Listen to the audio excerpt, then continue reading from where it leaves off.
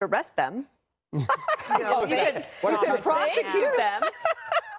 Why are we why are we giving a kiosk to 327 shoplifters? The whole idea that, it, you know, you try to. When they talk about de-escalation for the employees of these stores, I feel so bad for these employees. What are they supposed to do? I mean, they are the ones who are completely caught in the middle. I don't know if you've been to the CVS by us, but I've been in there twice. The Chanel. Exactly. But, it, but that might be okay. I like this better idea. that than reselling it on the internet. yeah. I agree. I agree. Interesting. Only Well, steal black bags. I think that is the takeaway here, Geraldo. Yeah.